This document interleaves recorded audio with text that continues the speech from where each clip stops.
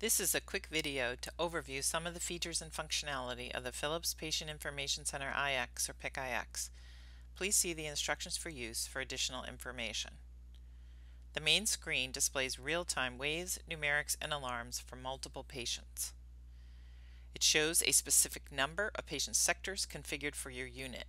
The number of waves and the amount of information in a sector depend on the size of the sector. All tasks start in the patient sector. When you place your cursor inside the sector, it is outlined in an orange border and icons appear.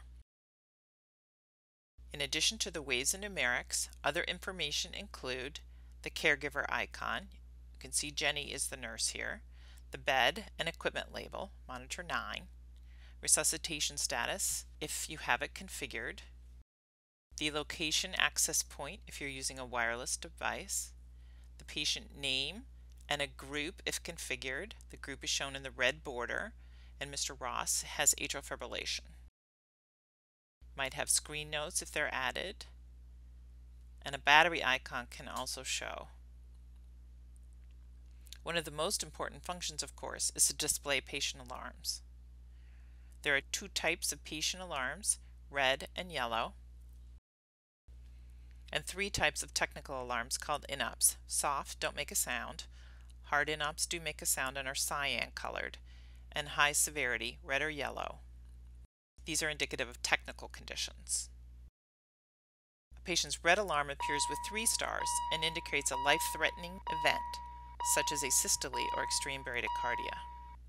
There are two types of patient yellow alarms, yellow limit alarms, shown with two stars, or short yellow arrhythmia with one star.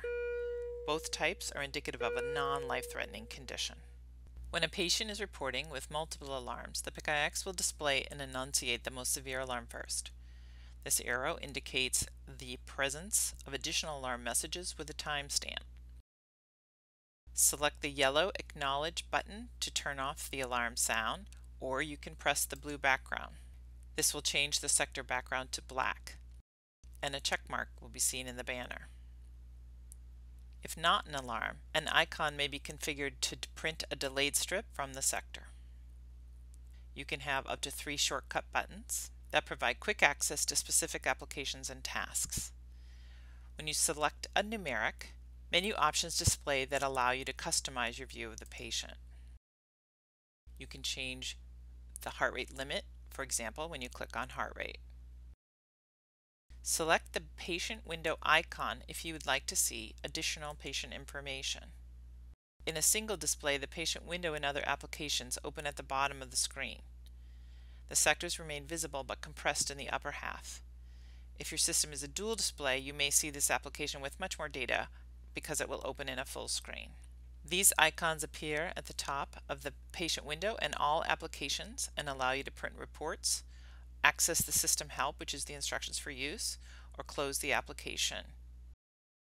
In the patient window, you can also select pause to temporarily prevent all patient alarms from visually and audibly announcing. When alarms are paused or off, the system displays a message together with the alarms paused or the audio pause symbol. Your system may be set up to allow the pausing of yellow alarms only. Alarms will automatically resume after the configured timeout. You can, however, resume alarms manually at any time by selecting the pause button in the patient window again. The taskbar at the bottom of the application windows provide easy access to additional applications and functions.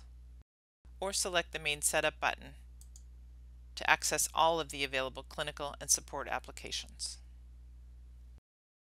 Let's go through a quick review of workflow. You can assign a bed or equipment for a sector for monitoring. We're going to use this empty sector down here. Select the Manage Patient button in the sector when you want to assign a bed label. You can also select this button to admit, transfer, or discharge a patient with an existing bed label. The sector assignment window here displays a list of beds available for your unit or for other units. In this case, we're going to pick bed 5 be sure to select the correct label. You can also, at this time, select a monitor for monitoring this patient, but it is optional. Then select OK. The Information Center displays and saves physiological data as soon as the patient is assigned to a bed and monitoring device. You must, however, admit a patient to the Information Center in order for the patient's name to appear on the display, to correctly identify the patient data in reports or before you transfer the patient. An asterisk appears next to all the required fields for admission. Enter patient demographic information and at a minimum the last name and a unique identifier for that patient.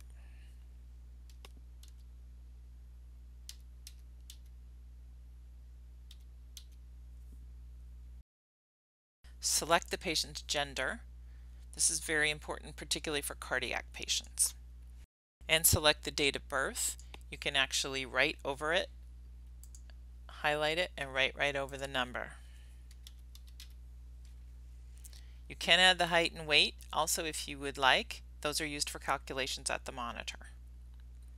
You can add now the resuscitation status if you wish. A full resuscitation status will not show any icon, only the DNR are modified.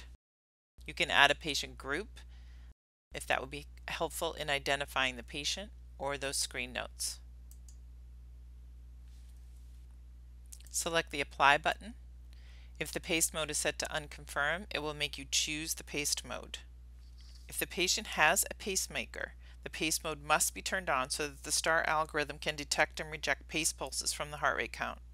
Otherwise, these pace pulses could be detected as beats, and the monitor may not alarm for any asystole condition. If the patient does not have a pacemaker, turn off the pace mode to allow the STAR algorithm to work most effectively. Always verify the patient category and pace mode are correct. Alternatively, you can select the Find Patient button if you are connected to your hospital information system or wish to transfer a patient from a different unit. Open the Manage Patient application and this time select the Find Patient. Type in some criteria to help your search. Entering a unique ID will get better search results. Select the Search button. A list of matching patients displays on the bottom of the dialog box. Highlight the name of the patient you want to add and select OK. A message asks you if you want to admit, readmit a previous patient, or transfer a patient from another unit. Please read and confirm the warning messages so that you do not accidentally transfer the wrong patient out of another unit. Other information will automatically fill in with this method. As reviewed before, the center section can now be filled with additional information such as the DNR status, patient group, and screen notes. To assign or unassign equipment for a patient, select the ellipsis next to the equipment label. Available equipment will show on the left and currently assigned equipment will show on the right. Scroll down the list to find the correct equipment label and select it. Then use the right arrow to add to the assigned list. Select OK. To remove equipment, just reverse the process. Use Transport Standby to indicate a patient's transport location and to temporarily put the equipment in standby. For example, this patient's going to have an MRI procedure and we want to put the monitor in standby. Select the OK button. You will see a white banner in the sector to indicate when equipment is in standby. The bed label is now shown in parenthesis, and if you hover over it, you will see the temporary location. Click in the sector to resume the equipment or access the Manage Patient application and select the Resume button. You can adjust alarms right from the patient sector or from the Measurements application. For example, you can use the ECG page to change heart rate alarms or the lead set. The area on the right of the measurement settings shows a summary of the patient's five most frequent alarms and a graphic trend of the data during that specific time period. Use the arrhythmia page to turn specific arrhythmia alarms on or off. Other measurements and changes include ST, STE, and QT. The SpO2 page can contain the controls for two devices if two are present that can measure SpO2. You can have some additional choices for the MX40 SpO2D. You can adjust the NBP limit and in fact there are additional controls such as start or stop an NBP measurement. The Alarm Summary application allows you to see alarms and trends for your patient's most common vital signs. Fast Alarm Review enables you to quickly acknowledge and view the current alarm data and take immediate action. If you are configured, you can select the Acknowledge button to automatically open the Fast Alarm Review. You can also access specific alarms from the banner. Depending on your screen resolution, the alarm strip contains at least 30 seconds of waves preceding the alarm and up to 15 seconds after the announced time depending on how quickly you open it. You can print, record, annotate, or delete using the icons on the right of the strip. Close the application and return to whatever was open previously. You may wish to review data or create save strips for your patients. Select the review icon from the sector. The review applications can be customized with specific data types or tiles such as waves, trends, and events. Each tile in a review application has its own set of controls located on the right. The compressed wave strip displays 1 to 60 minutes of full disclosure waves. Select the toggle icon to see other tiles such as the wave strip.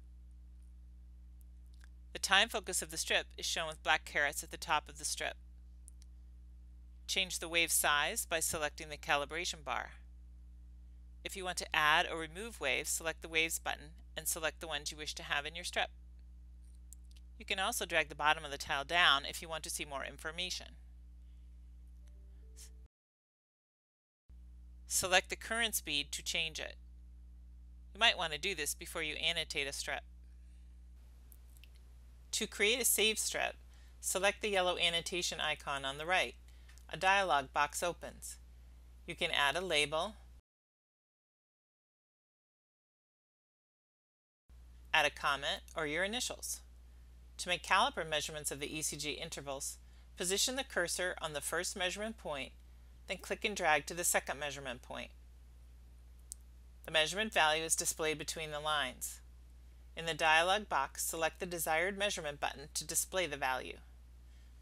Make other measurements as needed.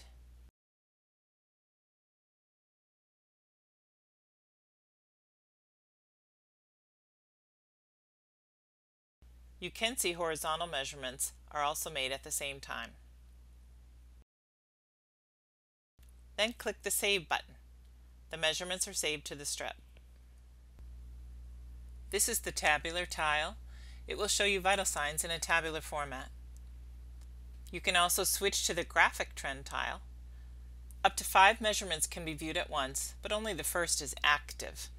To activate a second trend, select it. To correlate data, you can drag the trend down by the scale to overlay one or more trends. Please see the quick guide reviewing patient data for additional information. The Alarm Review application allows you to view all alarms and save strips. You can get to it by selecting the Review button at the bottom of any application window.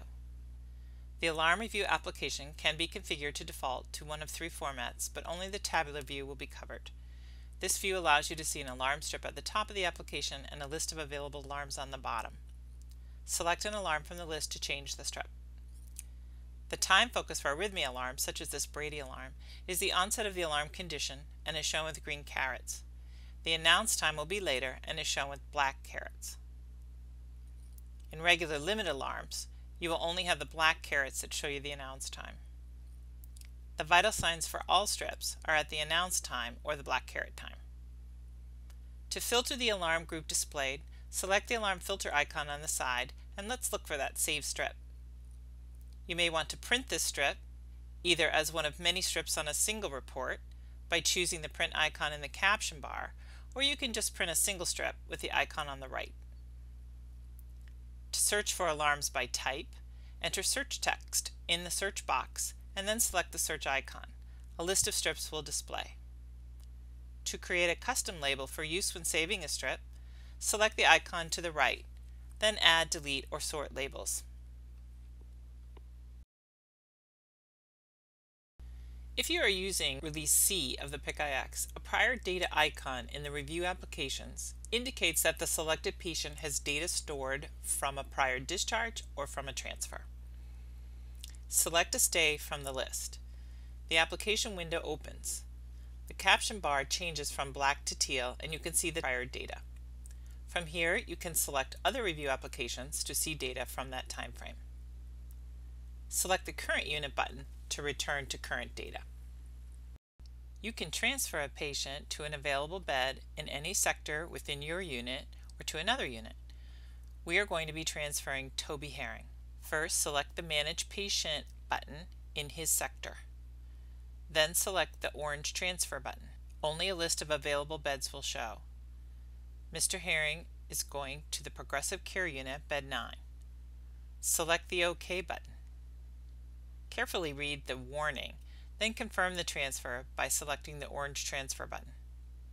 After a transfer, the patient's name is cleared, equipment returns to unit default settings, and may be put in standby or clear automatically. Mr. Davis in bed 8 is to be discharged. Select the Manage Patient button. This time we're going to select the pink Discharge button. The Discharge dialog box opens. When you discharge the patient, the PIC-IX will save the patient data for all admitted patients for up to 7 days. If configured, equipment assigned to the bed may be put into standby or clear automatically. You do not need to readmit a patient to review this stored data or to look at data on a patient in a different unit. You can search a patient we will want to search for data for Mr. Davis.